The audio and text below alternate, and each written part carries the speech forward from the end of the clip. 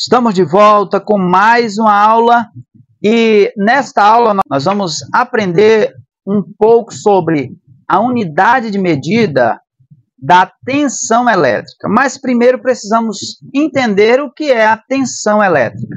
A tensão elétrica, pessoal, é basicamente a, a força, né, a potência que a, aquela energia tem e para medirmos esta potência, esta força que aquela rede elétrica tem, nós precisamos fazer esta medição em uma unidade que é conhecida como volts. Nós vamos medir a tensão elétrica em volts. Você tanto pode chamar é, tensão elétrica como volts. Vamos supor, eu tenho esta tomada e a tensão desta tomada é 200 volts.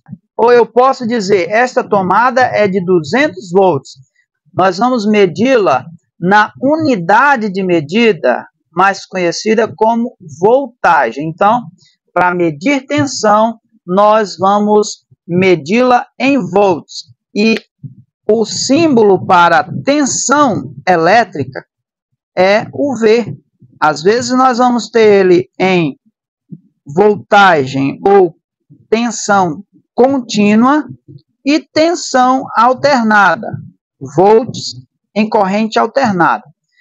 Então, basicamente é isso. Se nós vamos é, medir a potência da nossa rede elétrica, nós precisamos utilizar a unidade de medida volts, ok? Nós vamos ficando aqui com mais este vídeo. Até a próxima aula.